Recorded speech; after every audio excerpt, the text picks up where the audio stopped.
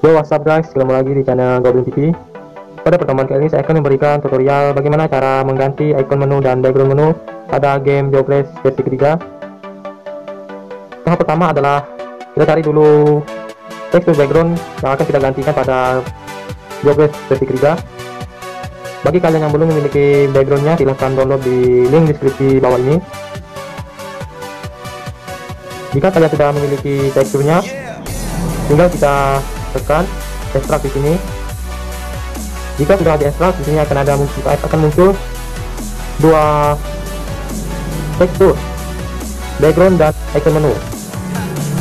Cara memasangnya adalah pertama-tama kita pergi dulu ke folder CSV tekstur JavaScript P3 dan kita carikan rename tekstur icon backgroundnya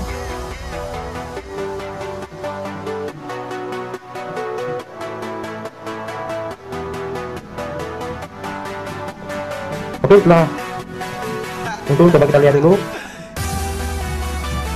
Ini adalah icon menu pada game Jogres versi ketiga kita keluar dulu. Setelah itu kita tetap kita ubah nama. Kita salin nama icon ini. Icon menu PNG salin setelah itu kita kembali lagi ke tekstur yang akan kita gantikan tadi dan yang ini adalah icon menunya kita ubah nama kita hapus semua lalu kita cancel oke setelah icon menunya sudah diganti dan namanya dan satu lagi yaitu file background menunya dan kita kembali lagi ke folder st tekstur jobres dan kita carikan nama background menu? Ya ini. Ini adalah background menunya.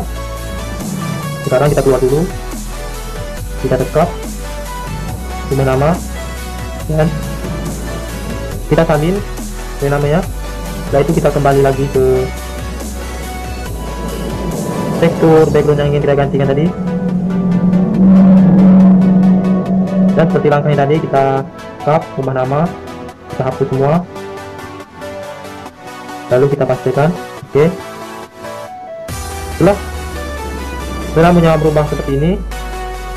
Tinggal kita salin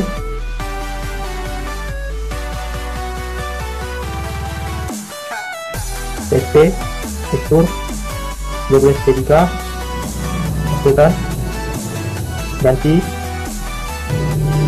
Oke sekian tutorial cara mengganti icon menu dan background menu pada game Jobres versi ketiga.